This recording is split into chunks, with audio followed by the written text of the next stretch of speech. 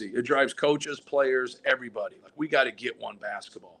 We got to get it to where, in the guy, the ball they were using last year was like a pumpkin. You know, a couple of our guys said it after we played Davidson and Indiana. Said, "Man, that ball was awful.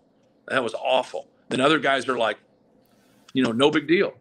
You know, it's like that's it didn't even affect them at all. So I think it's it's probably particular, but there's too many teams and too many individual players because we got to listen to the players on that that are that are talking about you know just the, feel of that ball, and it ended up being an NCAA tournament ball, and um, you know, so we we talked about it in our meetings. It got brought up, and I, and I shared the same.